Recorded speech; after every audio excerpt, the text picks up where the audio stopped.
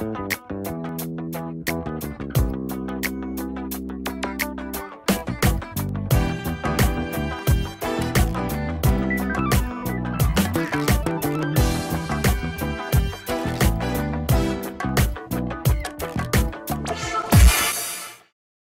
would like to talk a bit about Omni supply chain retail.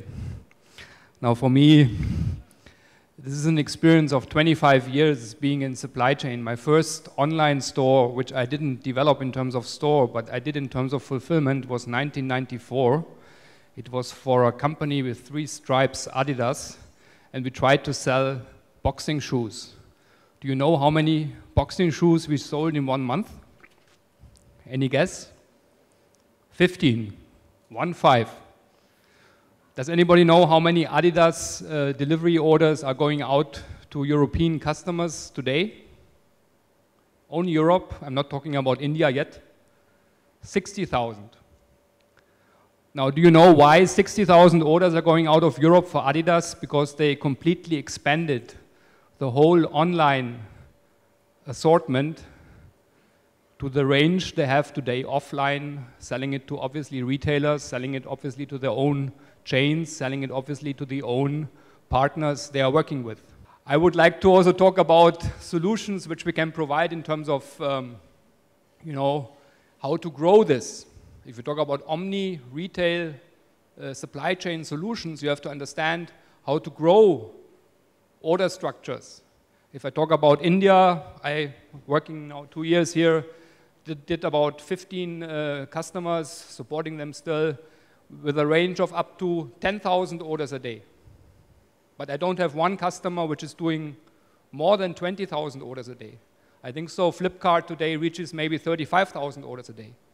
But talking about the future, we have to get ready in terms of omni-channel supply chain solutions for offering 100,000 orders or better. But COD, cash on delivery, is a huge advantage in terms of online if you put it right. Now, how do you do that? How do you get COD deliveries? This is a similar setup of a Vanderlande sorting system for up to 200,000 orders in one of the central warehouses of Adidas. Obviously, not only online, they also do B2B business out of this facility. So if you want to achieve this type of service being fast, you need to whatever extent, technology. And this we have to also think about if we talk about solutions in India. If we talk about retail, typical B2B retail, this is a pallet-based business where you also do picking, but the batch sizes are much bigger. Now why? Because if you talk about an online retail chain, the basket size of Claudia Schiffer normally is two or three, meaning two, three pieces of the same SKU. If I talk about a retail delivery to a mega store of Hennes Mauritz, H&M or C&A, you've got maybe an order of a full truck which goes out of the warehouse. Large amounts of pallet business. Not comparable with anything in the world which is related to online, because online means dedicated customer intimate orders. Basket size is very important in order to get a sizable business, because if you ship in India, and you pay for one piece 250 rupees, obviously it will be very difficult to get profitable. Now Kiva's system is a robot system which basically moves the rack to the picker. But the big advantage is that you are extremely fast in terms of doing inbound and outbound. So it is extremely important if you talk about omni retail supply chains that you manage your stock turn, that you are fast in terms of turns, that you don't have six months, maybe one year of stock, not five, ten lakhs, which you keep in a big warehouse on pallets, but that you manage it in and out on a daily, at least weekly, in the worst case, monthly level. So an extremely important factor in terms of managing supply chains, getting efficiencies there, is that I manage my demand. And this is basically one of the major points if you talk about omni-channel supply chain solutions in e-commerce and retail, you have to manage the demand in fast-moving supply chains where you create an environment that you really hit and target for the actual consumer demands.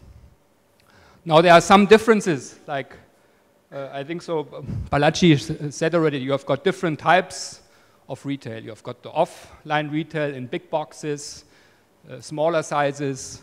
You've got franchise concepts.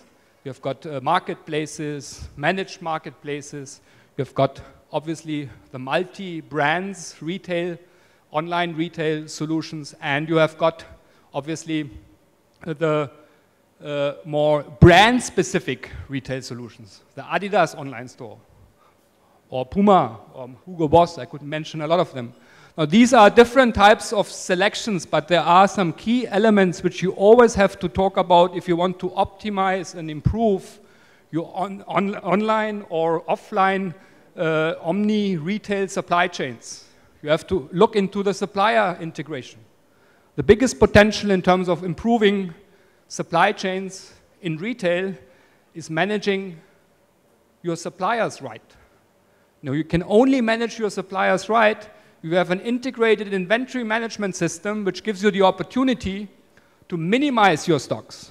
Because a little bit, my history, at least what I know from India, if you have got a stock at an importer, you've got a stock at a wholesaler, you've got a stock at a reseller or retailer, and you have got a stock on an, at an e-commerce retailer, you obviously are not managing your stock in the way that you can get for all partners involved a profitable business. You need to specialize the solutions in supply chain tailor-made to the requirements. If you have very high demanding customers like in Middle East, where you would like to, you know, basically service a Kuwaiti family with a complete setup of kitchens and whatever type of furniture requirements. If you have multi-brands, it's even getting more complex where you have to integrate these requirements into a structure where you obviously manage the inbound as well as the outbound supply chains. So important from my point of view is that these omni supply chains have to focus on the customer, target groups, they have to be designed according to the requirements of execution, whether you want to do a single pick delivery or whether you want to have a complete full flash shop replenishment. And that means for this, and this I would like to finish in terms of my speech,